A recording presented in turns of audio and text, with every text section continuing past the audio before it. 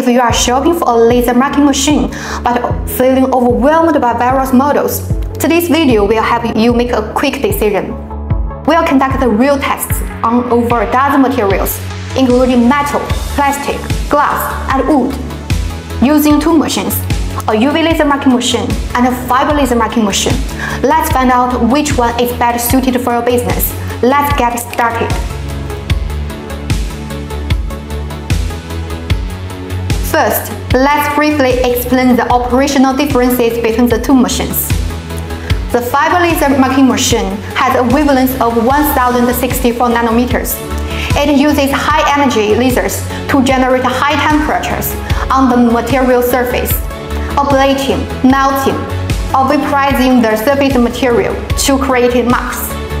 The UV laser marking machine has a wavelength of 355 nanometers. It does not rely on high temperatures and has almost no thermal effect, so it won't burn the material. It is ideal for heat-sensitive materials such as plastic, glass, fiber, and silicon wafers. Let's start with metal business cards. The fiber laser marking machine has obvious advantages in speed and depth. It can create marks in just a few seconds and even perform deep engraving, while the UV laser marking machine can produce high precision marks, but the marking effect is not very satisfactory. What's more, the fiber laser marking machine can not only mark stainless steel, but also create colorful marking effects a capability the UV laser marking machine does not have. When it comes to glass, the situation is extremely reversed. The UV laser marking machine can directly produce a uniform frosted effects on the glass surface without any cracks, making it perfect to customer crafts. When it comes to crafts, after upgrading its relevant configuration, the UV laser marking machine can create extremely exquisite crystal crafts. It is capable of completing engraving work inside the crystal, with the engraved pattern embedded within the crystal material. This is not only prevents surface wear and tear, but also enhances the three-dimensionality and vividness of the material.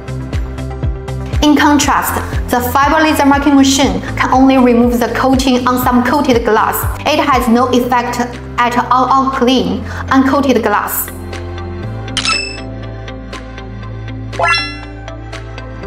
Plastic is the main field of UV laser, especially for colored and transparent materials. The details and contrast are very good. The fiber laser marking machine, however, can only mark some rigid plastic you must test the plastic first to confirm the compatibility. The UV laser marking machine can achieve clean, smoke-free engraving. It can even engrave clearly on fragile leaves. The fiber laser marking machine, by comparison, leaves burn marks on the wood surface. About the textiles, the UV laser marking machine gently ablates the fabric surface without damage its structural strength, but the UV laser marking machine cannot do this. If your main project involves deep metal engraving or large batch production, the fiber laser marking machine is definitely your first choice. If you work more with materials like plastic, glass, or wood, the UV laser marking machine will be more suitable. Of course, if you want to cover more application scenarios, the ideal combination is one fiber laser marking machine and one UV laser marking machine. These two machines can meet most of your needs. There is no absolute better or worse.